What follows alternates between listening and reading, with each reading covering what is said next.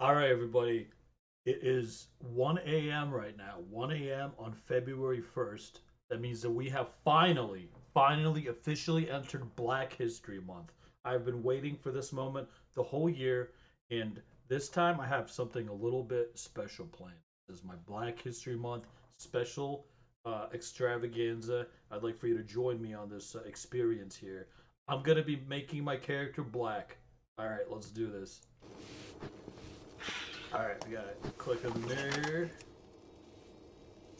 That's kind of green, right? All right, all right. Look at that. Look at that. We did it. We did it. This is, this is for you, black people.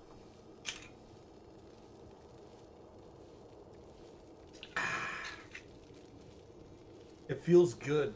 It feels good to make a difference. Gotta change this fucking retarded.